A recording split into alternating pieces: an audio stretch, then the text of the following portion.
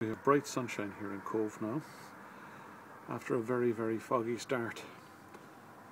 Looks like we have sunshine for the week. You can see there the fog still lingering at the mouth of the harbour and burning off over on Whitegate making a really fabulous sunny day and looking very very settled for a full week until next Monday. So hopefully we're going to have some enjoyable time on the water.